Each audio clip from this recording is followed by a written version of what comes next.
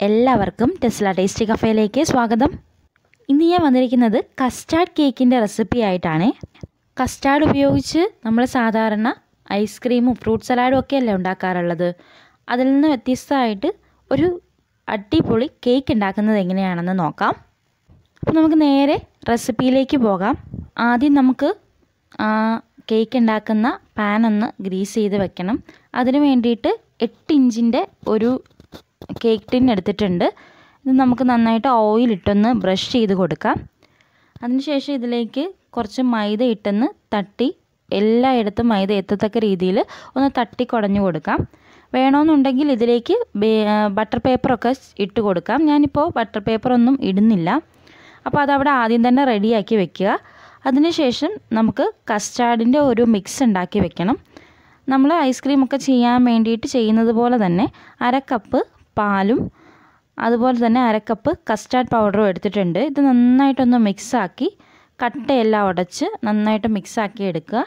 അതിനുശേഷം അതൊന്ന് മാറ്റി വയ്ക്കാം അപ്പോൾ ഇത് ആദ്യമേ തയ്യാറാക്കി വയ്ക്കാം അപ്പോൾ നമുക്ക് കേക്ക് ഉണ്ടാക്കുന്ന സമയത്ത് നേരിട്ട് അതിലേക്ക് ഈ ഒരു മിക്സ് ഒഴിച്ചു കൊടുത്ത് കേക്ക് ഉണ്ടാക്കി എടുക്കാം.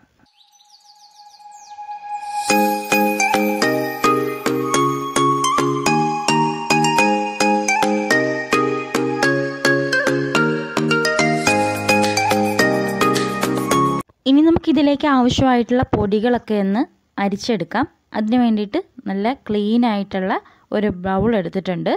അതിന് മുകളിൽ ഒരു അരിപ്പ വെച്ച് കൊടുത്തിട്ട് അതിലേക്ക് ഒന്നര കപ്പ് മൈദ ഇട്ട് കൊടുക്കാം. ഇരുന്നൂറ്റി അൻപത് എം എല്ലിന്റെ കപ്പിലാണ് മൈദ അളന്നെടുത്തിട്ടുള്ളത്. അപ്പോൾ ഒന്നര കപ്പ് മൈദ ഇട്ട് കൊടുക്കാം. ഇനി നമുക്കിതിലേക്ക് ബേക്കിംഗ് പൗഡറും ബേക്കിംഗ് സോഡായും ചേർത്ത് കൊടുക്കണം. ഒരു ടീസ്പൂൺ അളവിൽ ബേക്കിംഗ് പൗഡറും അര ടീസ്പൂൺ അളവിൽ ബേക്കിംഗ് സോഡായും ചേർത്ത് കൊടുക്കുന്നുണ്ട്. ഇനി നമുക്കിത് നന്നായിട്ടൊന്ന് അരിച്ചെടുക്കണം. കഴിയുന്നതും ഒരു മൂന്ന് തവണയെങ്കിലും അരിച്ചെടുക്കാനായിട്ട് പ്രത്യേകം ശ്രദ്ധിക്കുക. എത്രമാത്രം അരിക്കുന്നോ അത്ര മാത്രം കേക്കിന് സോഫ്റ്റ്നെസ് കൂടി കൂടി വരും. അതുമാത്രമല്ല നമ്മുടെ ബേക്കിംഗ് പൗഡറും ബേക്കിംഗ് സോഡായും ഒക്കെ എല്ലായിടത്തും ചെല്ലാൻ വേണ്ടിയിട്ട് ഒരു വിസ്കോ സ്പൂണോ എന്തെങ്കിലും വെച്ചിട്ട് നന്നായിട്ടൊന്ന് മിക്സാക്കിയും കൂടെ കൊടുക്കുക. അതിനുശേഷം അതൊന്ന് നീക്കി വയ്ക്കാം ഇനി നമുക്ക് വെള്ളമൊന്നും ഒട്ടുമില്ലാത്ത നല്ല ക്ലീൻ ആയിട്ടുള്ളൊരു ബൗളെടുത്ത് മൂന്ന് മുട്ടയൊന്ന് പൊട്ടിച്ചൊഴിക്കാം. ഇതിലേക്ക് നമുക്കിനി ഒരു ടീസ്പൂൺ വാനില എസൻസ് ചേർക്കുക. അപ്പോൾ വാനില എസൻസ് ചേർക്കണമെന്ന് നിർബന്ധമൊന്നുമില്ല. കാരണം കസ്റ്റാർഡ് പൗഡറിൽ വാനില ഫ്ലേവേർഡ് കസ്റ്റാർഡ് പൗഡറാണ് നമ്മളിപ്പോൾ എടുത്തിരിക്കുന്നത്. അപ്പോൾ അതുകൊണ്ട് ഇത് നിർബന്ധമില്ല. ഉണ്ടെങ്കിൽ ചേർക്കുക. എന്നിട്ട് നന്നായിട്ടൊന്ന് മിക്സ് ആക്കുക. ഒരുപാട് നേരം ഇട്ട് ബീറ്റ് ചെയ്യേണ്ട ആവശ്യമില്ല. നമ്മുടെ ആ ഒരു മുട്ടയുടെ മഞ്ഞയൊന്ന് ആ ഒരു യോക്കൊക്കെ ഒന്ന് ഉടഞ്ഞ് വന്നാൽ മാത്രം മതി. ഇനി നമുക്ക് ഒരു കപ്പ് പഞ്ചസാര ആവശ്യമുണ്ട്. ഒരു കപ്പ് പഞ്ചസാര എടുത്ത് മിക്സിക്കകത്തിട്ട് ഒന്ന് പൊടിച്ചെടുത്തിട്ടുണ്ട്. അപ്പോൾ അതുകൂടി ഇതിലേക്ക് ഇട്ടിട്ട് ജസ്റ്റ് ഒന്ന് മിക്സാക്കി എടുക്കുക. അപ്പോൾ പഞ്ചസാര നമ്മുടെ മുട്ടയിലേക്ക് നന്നായിട്ട് ലയിച്ച് കഴിയുമ്പോൾ ഇതിലേക്ക് നമുക്ക് ആവശ്യമുള്ള ഓയിൽ ചേർത്ത് കൊടുക്കാം. ഞാനിപ്പോൾ കാൽ കപ്പ് ഓയിൽ എടുത്തിട്ടുണ്ട്. ഏത് വെജിറ്റബിൾ ഓയിൽ വേണമെങ്കിലും എടുക്കാം.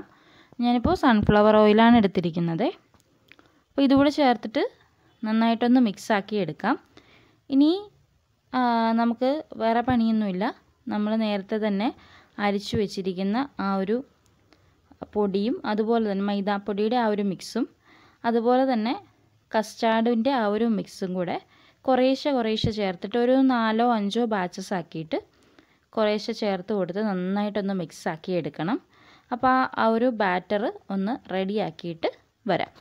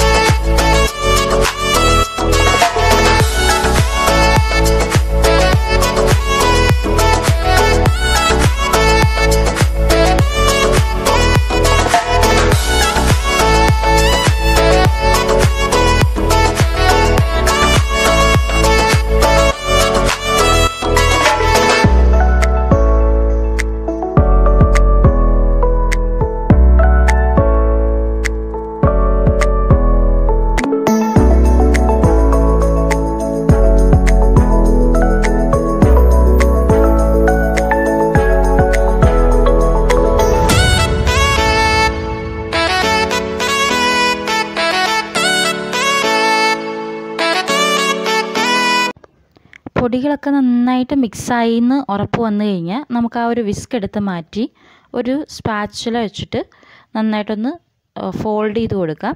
അപ്പോൾ ഈ ഒരു രീതിയിൽ ചെയ്ത് കേക്കൊന്ന് ആ ഒരു ബാറ്റർ ഒന്ന് മയപ്പെടുത്തി എടുക്കുക. അതിന് ശേഷം നമ്മൾ നേരത്തെ തന്നെ റെഡിയാക്കി വെച്ചിട്ടുള്ള ആ ഒരു ടിന്നിലേക്ക് നമുക്ക് ഈ ഒരു ബാറ്റർ ഒഴിച്ചു കൊടുക്കാം. ഒഴിച്ചതിന് ശേഷം നന്നായിട്ടൊന്ന് തട്ടി കൊടുക്കണം അതിനകത്ത് എന്തെങ്കിലും എയർ ബബിൾസ് എന്തെങ്കിലും ഉണ്ടെങ്കിൽ അതൊന്ന് പോയി കിട്ടാൻ വേണ്ടിയിട്ട്. ഇനി നമുക്ക് ഇതൊന്ന് ബേക്ക് ചെയ്യാൻ വേണ്ടിയിട്ടുള്ള ഒരു സെറ്റപ്പ് റെഡിയാക്കാം. അതിന് വേണ്ടി ഞാനൊരു സോസ് പാൻ വെച്ചിട്ടുണ്ട്. അതിന്റെ മുകളിൽ ഒരു ചെറിയ പാത്രം കമഴ്ത്തി വെച്ചിട്ടുണ്ട്. എന്നിട്ട് അതൊന്ന് മൂടി വെച്ച് പത്ത് മിനിറ്റ് ലോ ഫ്ലെയിമിലിട്ട് പ്രീഹീറ്റ് ചെയ്യുക. പത്ത് മിനിറ്റ് കഴിയുമ്പോൾ നമ്മുടെ ഈ ഒരു ടിന്ന് അതിലേക്ക് ഇറക്കി കൊടുത്തതിന് ശേഷം മൂടി വയ്ക്കാം ഒരു നാൽപ്പത്തി അഞ്ച് മിനിറ്റിന് ശേഷമാണ് എനിക്കിത് റെഡിയായി വന്നിട്ടുണ്ടായിരുന്നത്. അപ്പോൾ ഇത് ഒരു ബ്രൗൺ കളറിലൊക്കെയാണ് വന്നിട്ടുള്ളത്. നല്ല ടേസ്റ്റാണ് കേട്ടോ. നല്ല ഒരു കസ്റ്റാർഡിന്റെ ടേസ്റ്റ് കൂടെ വരുന്ന ഒരു കേക്കാണ്. അപ്പോൾ എല്ലാവരും ചെയ്ത് നോക്കുക അഭിപ്രായങ്ങളൊക്കെ അറിയിക്കുക. അതേപോലെ തന്നെ അടുത്തൊരു വീഡിയോ ആയിട്ട് ഉടനെ തന്നെ ഞാൻ വരാം. അതുവരേക്കും എല്ലാവർക്കും ബൈ ബൈ.